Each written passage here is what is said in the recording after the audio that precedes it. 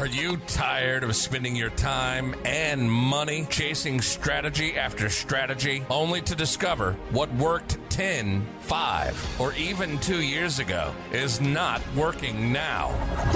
Things shift fast in the online space, and if you're not keeping up, you're getting left behind.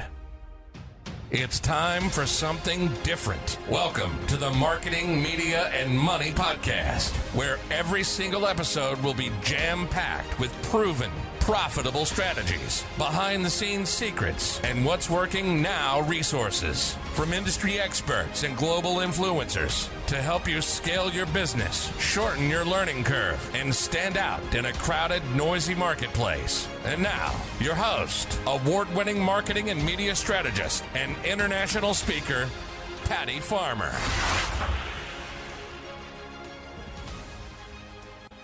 Hello, everybody, and welcome to another episode of the Marketing, Media, and Money Podcast.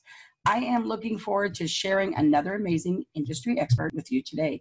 And today I'm really excited to have Kim Sutton because just because you can do something doesn't mean you should.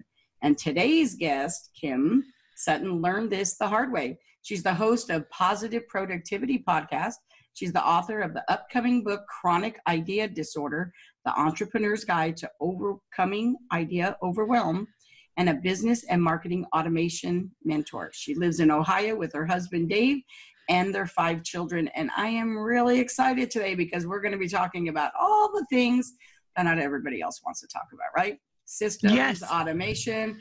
Those are all the things that not everybody wants to talk about. But today, Kim and I are going to be sharing some great strategies, some tips, some resources, some action items you can probably take in your business that will help you to monetize it a little bit more. So thank you, Kim, for being here today. Thank you so much for having me, Patty. I'm really excited.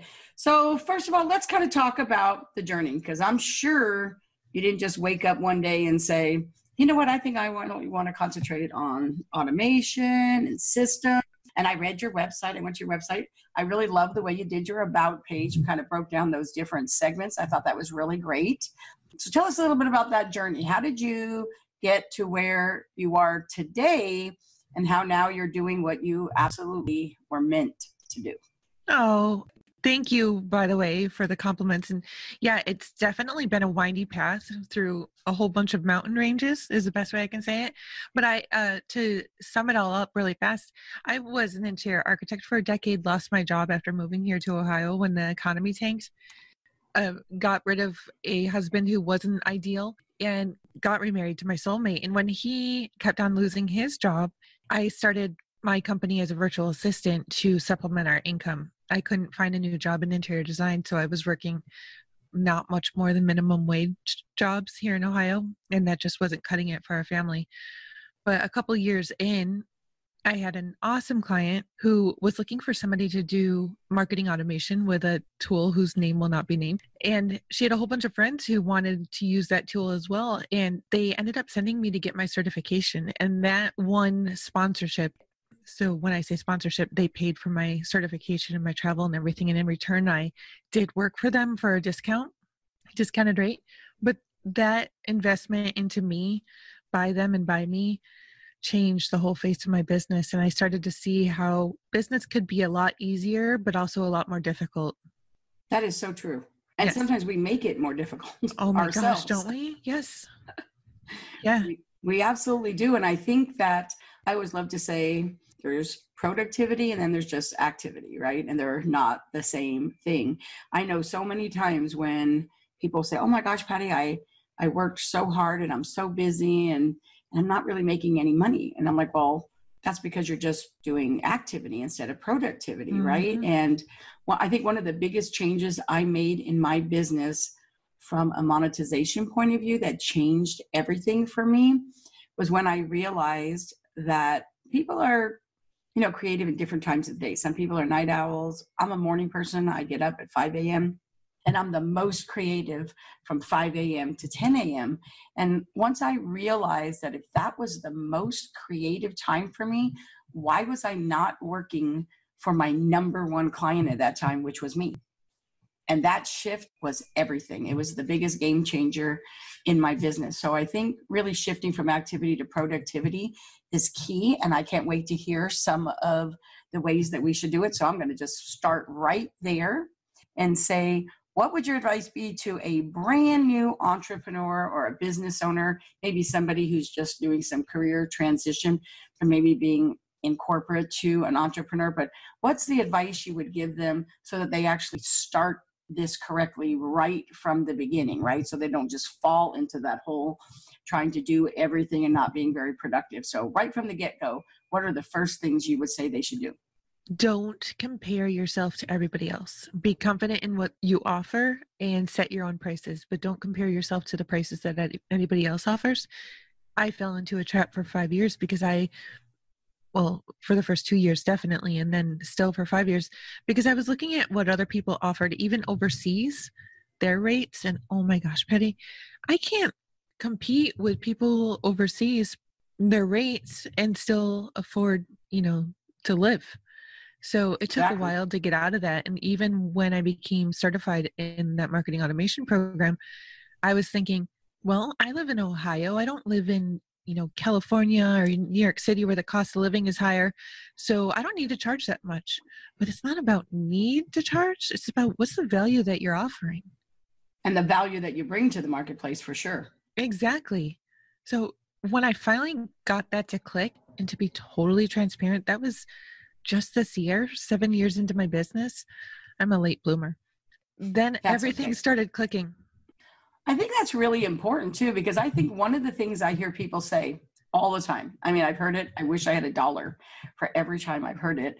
When people say, I wish I had more time in my day, you know, I, I don't have enough time. I don't have enough time. I don't have enough time. And the reality is, if you're just more productive with the time you have, we all have exactly the same amount of time in a day, right? Some of us are just more productive with our time than others. So learning to be more productive with mm-hmm. your time, it's almost like you're giving yourself more time. Exactly. And Patty, if I can just piggyback on that, there that's a big component of productivity, but I also found that the the valuing ourselves and charging accordingly when we can take on one client versus three and really focus on doing the best work possible, our businesses can bloom so much faster because we're putting our best foot forward by not having to take on so much that we're not getting overwhelmed. We're not feeling like we have to stay up 22 hours a day to get our work done to make the same amount of money. And so it becomes so much easier to do awesome work the majority of the time. I love that. I think that makes a lot of sense. So let's kind of think about breaking that down.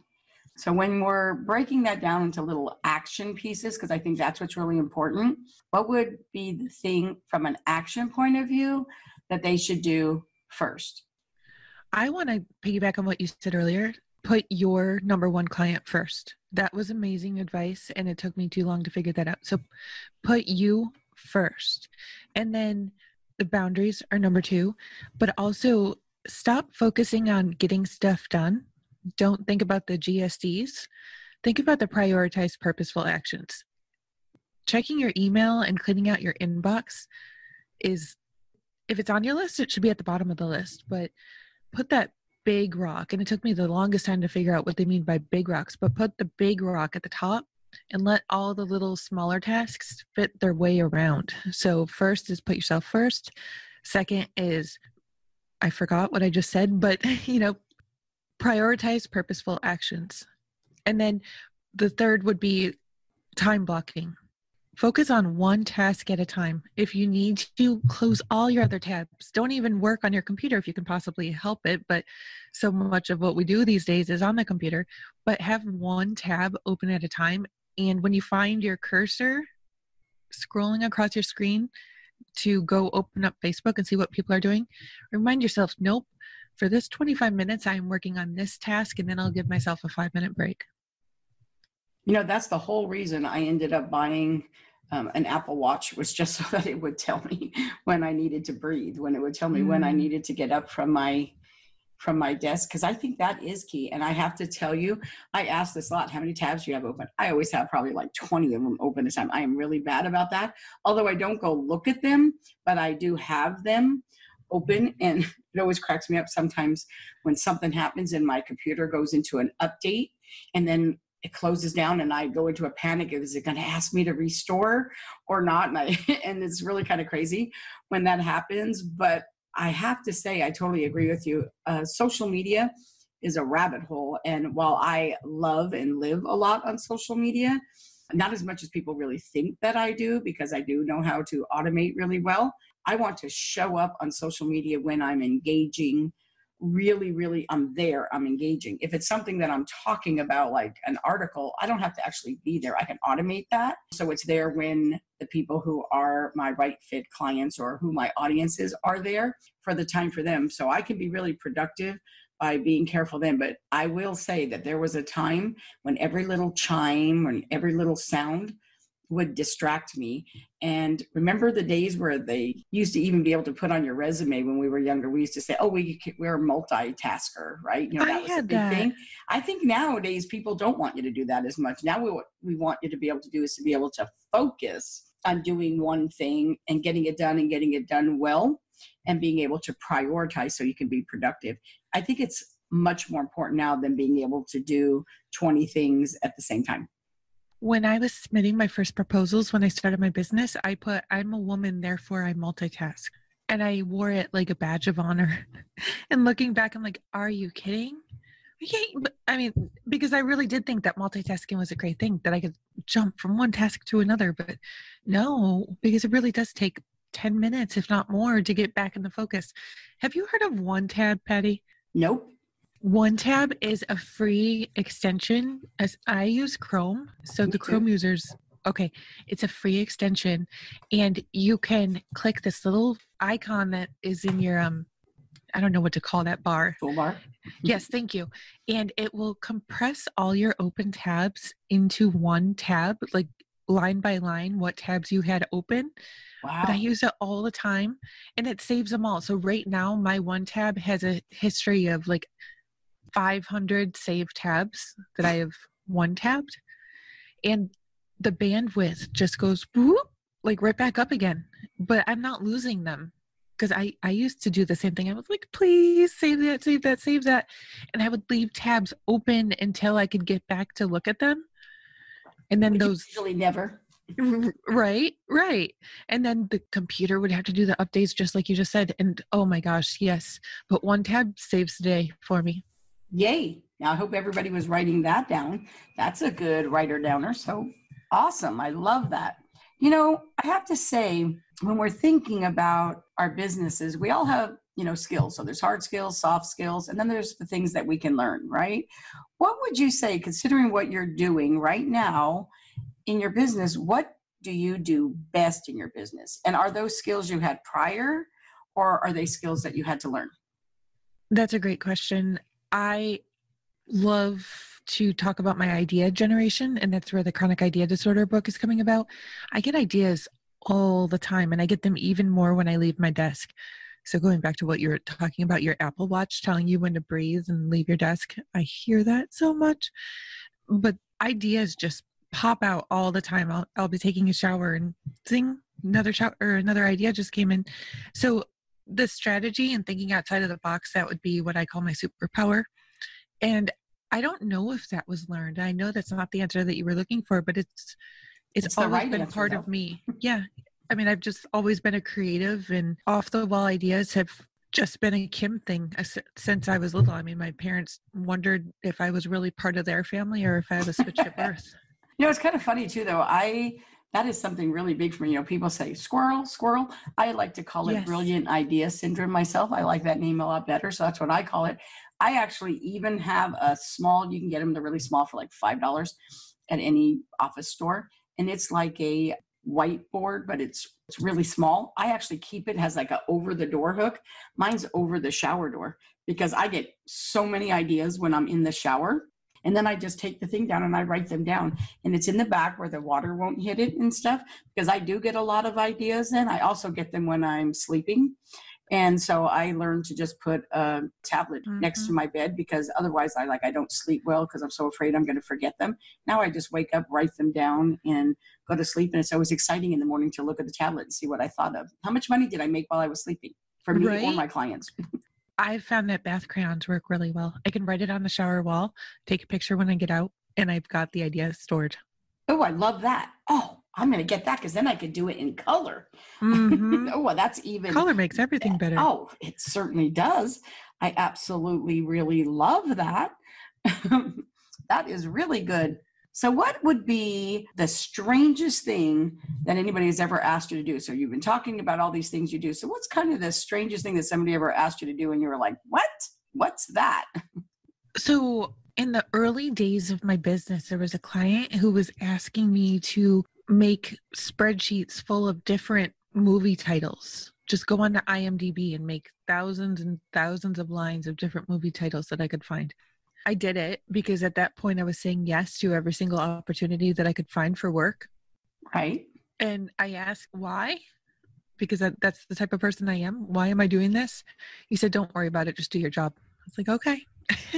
You know, I do didn't last question very why, long though. Why is a good thing. I like it. But that was Yeah. kind of strange. That's kind of interesting. I just thought that was kind of interesting because I'm thinking that for somebody who does what you do, I'm thinking, oh man, people must ask you just like all kinds of strange things. So I just really kind of wanted to know what it is. And I'm thinking if it's in my mind, it might be in my audience's mind too.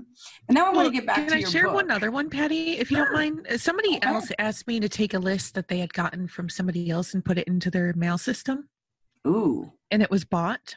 And I said no because it wasn't. to do. yes, and they actually came back around and hired an attorney and tried to sue me. But Wow.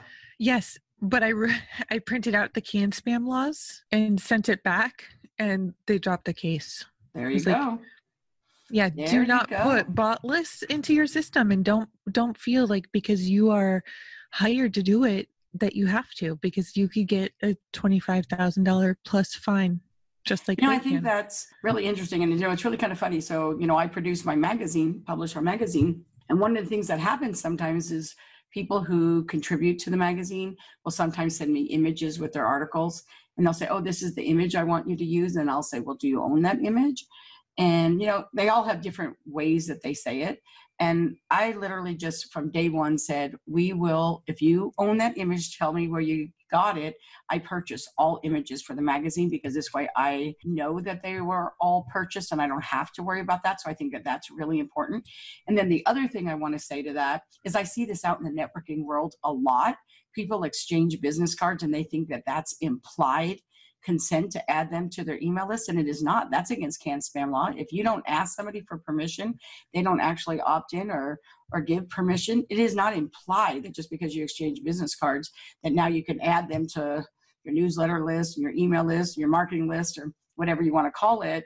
So I think I think that's great that we're kind of touching on that because I think it is a really an important point for people to realize that you know just ask. I mean, you'll stand away from the crowd just by doing that that one Mhm. thing in itself. and new linkedin connections do it too just because i accept your connection does not mean you should put me on your list Absolutely. So there's always a right way and a wrong way to do anything. And I think people really show you which they are by the Mm-hmm. practices that they make. And a lot of times in the first five minutes, right? I mean, very, very quickly, sometimes can you tell when somebody does that. So a lot of times I hear people complain about that. I always just like to say, thank you so much for showing me, you know, who you are in the first five minutes, right? Before I invested all this time to build a relationship with you. So I, I have a tendency to try to always look at things positively. So I kind of love that your podcast is called Positive Productivity Podcast. I think that's really great. And I love this book. So let's kind of talk a little bit about the book Chronic Idea Disorder. I just love that. The Entrepreneur's Guide to Overcoming Idea Overwhelm. I like that because I think a lot of times people do get totally overwhelmed. And not only that, but sometimes people have these ideas, right? So I'm in marketing and they'll come and tell me, and they're like, oh, and they're just totally overwhelmed. And I'm thinking to myself, an idea that never leaves your living room is just an idea, right? And it's not like you're going to come up with an idea. Rarely does somebody come up with an idea that nobody in the world ever thought of. It's not that. It's that you're not trying to reinvent ice cream. You're just trying to find your flavor, right? Some people like Rocky Road, some people like butter pecan. But the reality really is we can get into idea overwhelm. So why don't you can you like kind of define that in your I mean you wrote a book about it. So in your own words, what do you see as idea overwhelm? Maybe one or two things that they could do to kind of overcome that when they get that feeling of overwhelm come over them. I just have a question before I get into that. How many Okay. domains do you own? well, here's the thing. I used to say that I I like to tell people that I'm a recovering domain collector. There was a Mhm. time when I owned like 300. Okay. Um, now I probably own about 50. Okay. So let's go back to the 300, uh, but I'm not going to pick on you. I think go that's ahead. the first sign of having chronic idea disorder, or you had a different word for it. But what I used to, what used to happen for me is I would get this great idea, go buy the domain, start working on the website, never finish the project, and still be broke. Because then another idea would come in, and it was like a rinse and repeat cycle. Oh, I got another great idea. I'm going to go buy the domain. I'm going to start building the website. Forget about the product itself, but I'm going to build the website and then I'm never going to tell anybody about it. And in the meantime, a new idea comes about. So it just became this vicious cycle where I was getting broker and broker. But there's broker than broke.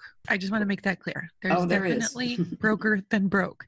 And when you aren't finishing anything, or when you're coming up with ideas on the fly, because all of a sudden you realize it's the last day of the month and your mortgage is due tomorrow, and oh my gosh, I better come up with a new idea really fast, it's usually a sign that you have to see what you're working on through to completion. So I'm finally getting clear on that, and I have two products that I'm regularly going to be talking about from here on out. But that became crystal clear to me when one of my mentors said, Kim, how many projects are you working on right now? And I said, Oh, I'm only working on a couple. And he said, Oh, really? Tell me what you're working on.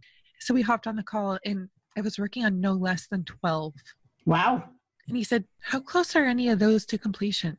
And that was a shocking reality to me that because I was spreading myself so thin across so many different projects, it was going to take me another decade probably to finish any of them. He's like, Cut it out. I want to see you no more than two. I think I compromised at three, but that was still rough. So, Well, sometimes I think an idea is kind of part of another idea too, and it's really easy to tell ourselves that it's not a new idea. It's kind of just another division, so to speak, of that idea. I used to have, well, I still do, but I have this big, huge, like erase board in my office. And a lot of people, what they do is they kind of put things at the top, right? Oh, here's this and this and this and this. What I do is I put the names across the bottom as they move up. But what would happen is I'm a creator. And so every time something would stall for some reason, like I'm waiting for something, you know, like something out of my control, waiting for this to come back or this needs to get approved or whatever the case may be, if I couldn't work on it, I just moved to the next thing and created another thing. And then I created another thing. And then one day my coach helped me to realize that none of my projects were getting done because I would just mm-hmm. go to the next project because I was kind of stuck. And so I finally, with her help, put up another erase board that actually is called my parking lot. And now, whenever I think of my creative ideas, they have to go on the parking lot, and no new idea gets to come on the board until something goes off the board. So now my board can only have three projects on it as well. But I still get excited when I get to put them in the parking lot. That excites me. They don't go away, they're still there. And it's amazing how many things I do, I can pull from that parking lot and bundle them together or whatever and that works for me but it keeps me totally focused and out of overwhelm so i can really see how that does it it's kind of just another version of having a million open tabs right Yes, exactly. And I love the idea of the parking lot. I call mine the idea bucket because if I leave them in my head, if I don't get that idea written down, either, or I always put them in my journal, I have a page just for new ideas. If I don't get them out of my head, then I'm constantly being pulled to work on them. But the second I write them down and feel like I'm storing them for the future, I feel more free and then I can continue working on what I was working on because I'm not going to lose the idea in the process. i love that. It takes away the fear or the anxiety of thinking oh but that was really a great idea. It's written down. You get to come back to it. It's okay right? But now let's focus on getting things done so you can make some money. And not only just make money I mean, this is the marketing media money show, but it's also about who are you serving, right? Because we always lead with contribution. Compensation will follow, but we always lead with contribution. So I think that you can't serve more people or bring more value to the marketplace if you get caught up in all this other stuff, right?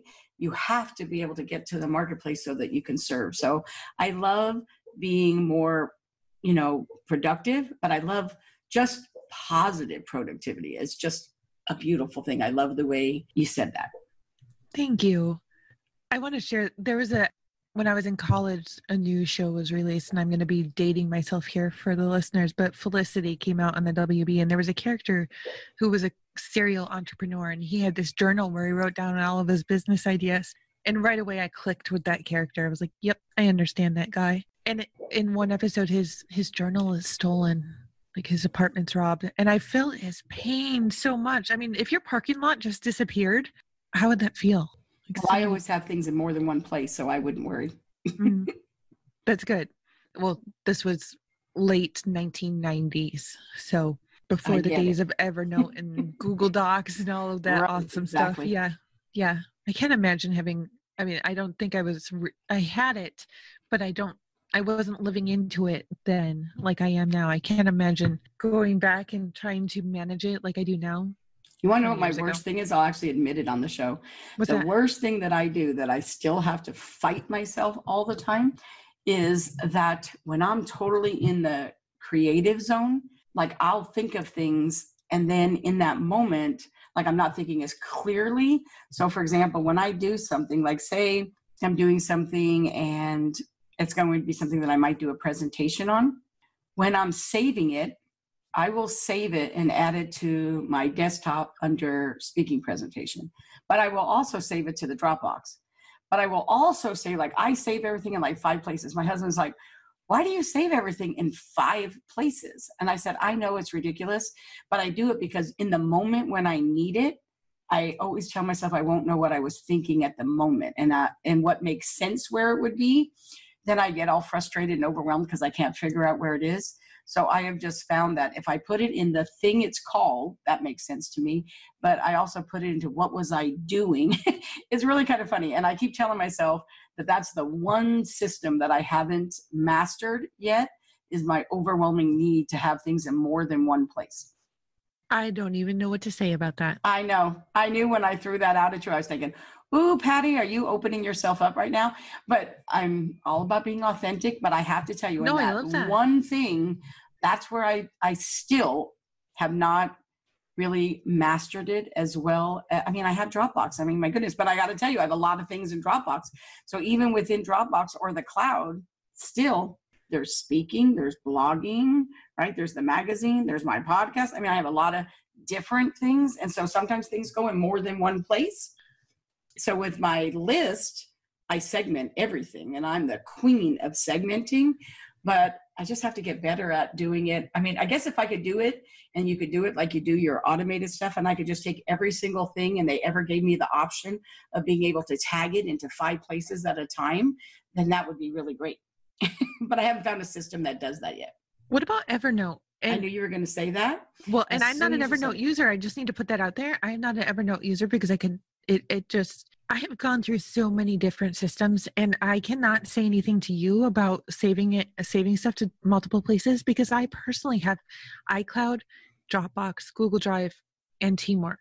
I have it in all, well, I don't have teamwork, but I do in all those other things. But I have thought about Evernote too. And I have to tell you, in my Facebook group, I can think of at least five times that I have asked in my Facebook group under different things and said, you know, who can introduce me to a really great Evernote person? Because the thing for me is, I don't have the time, right? There we go, um, to actually learn a whole new system. What I want is somebody who's an expert who could just come in and say, and I could pay them and they'd set it all up for me interview me, set it up for me, and then just tell me how to do it. That's how I work. I even tried doing it in Trello once, and um, like it was even overwhelming for me. Now I have somebody who actually does that for me, but I do have to tell you, we can get in our own way with that. I can always find my stuff though, and I tell myself that that's all that matters. I never have a problem finding it things, but I think that's because I have it in so many places. But there Mhm. has to be a better system. So I get it. Have you ever thought about what life would be like if there was a clone, identical clone of you? As a matter of fact, I've wished for it sometimes. I Mhm. thought, oh, if I could just find somebody just, I'm, I'm sure everybody out there has to. Have you ever thought, oh my gosh, if I could just find somebody just like me, I'd get so much work done? But I find it in different things too. I think, oh, if I could find somebody who, in, at different times in my business, I have thought, oh, if I could find somebody who had the integrity that I do, right? Because I really, you know, that's my integrity is really a really important thing to me and loyalty.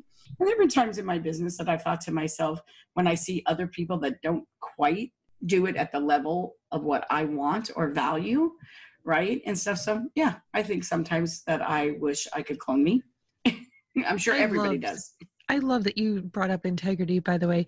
But I, I want to go back to the clone. I wished that there were about five of me one that would do the work, one that would spend time with my family, because they have, unfortunately, when I've not been at my best productivity levels, they're the ones who have suffered. One who would be able to sleep 24 7.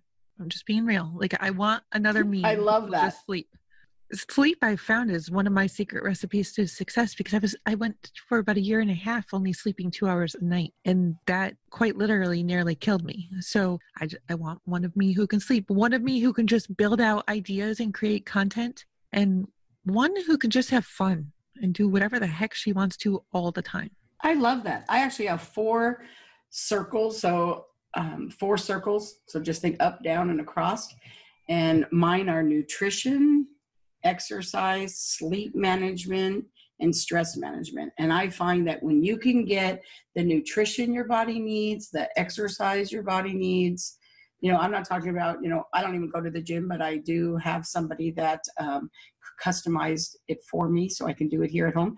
But um, and sleep management and stress management i think those four things for the entrepreneur are really where we struggle for balance. And if we can balance that now of course if you can balance those things your body will produce optimally and that way i can show up with my family because really the best present you can give is your presence right um, with your family and i have a schedule that allows that one of the things I did for myself from a productivity point of view for me is I stopped working Fridays at noon. So I record my podcast on Friday mornings, which is right now.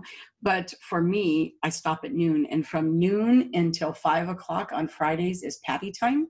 And that's when I do all the things for me. It could be hanging out with my friends, it could be massage, it could be get my nails done, whatever it is.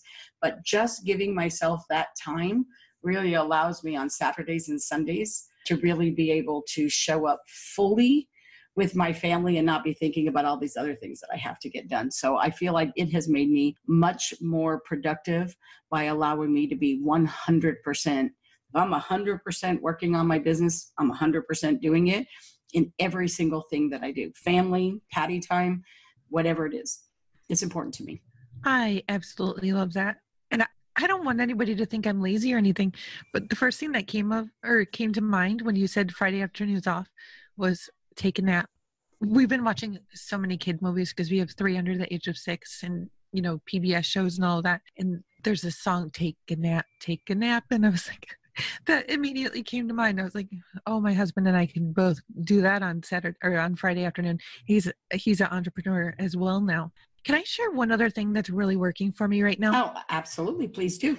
So my husband is a video game designer and I've been a gamer. My whole family is gamers. We've been gamers forever. I've been thinking this year of what does next level Kim do that I'm not currently doing. So I've started gamifying the things that I know I need to do on a daily basis. And I've I've assigned an experience point value to them.